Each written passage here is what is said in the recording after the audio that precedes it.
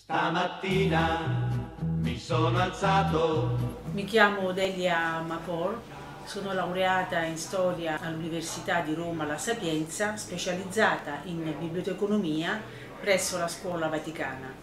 Mi occupo di studi storici dell'età contemporanea con particolare attenzione alle tematiche di genere. Lavoro a Roma presso il Ministero delle Infrastrutture e dei Trasporti. Presento il volume Luciana Viviani tra passione politica e ironia.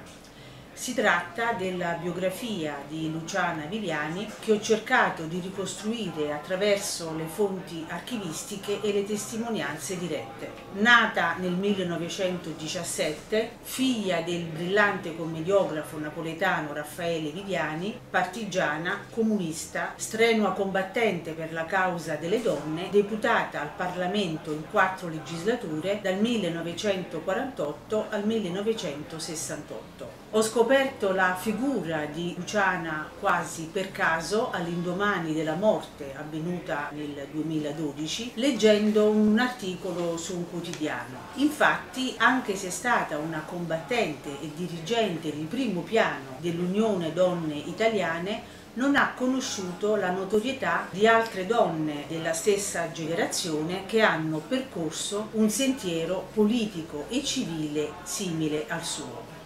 Eppure la sua vita ha rappresentato una testimonianza importante nella storia del nostro paese. Nello studio della documentazione di Luciana mi hanno colpito in particolare il coraggio, la forza, la determinazione nelle scelte riguardanti sia l'ambito della vita privata sia quella pubblica. Scelte tutt'altro che facili a quei tempi. In una delle sue ultime interviste dichiarò ci sentivamo di stare dalla parte giusta con tanta forza, passione e convinzione che potevamo cambiare il mondo e in parte lo abbiamo fatto. Un altro aspetto interessante eh, della sua personalità è l'ironia, l'osservazione e l'interpretazione della realtà attraverso la lente dell'ironia è il dire con leggerezza le verità che sono dure e amare, come affermò una volta. Con questo libro ho inteso offrire un contributo alla conoscenza e memoria di quel bagaglio di idee, entusiasmi, slanci ideali che ha contribuito alla costruzione della nostra libertà odierna. Per non dimenticare, perché, eh, per dirla con Walter Benjamin, c'è un'intesa segreta tra le generazioni passate e la nostra.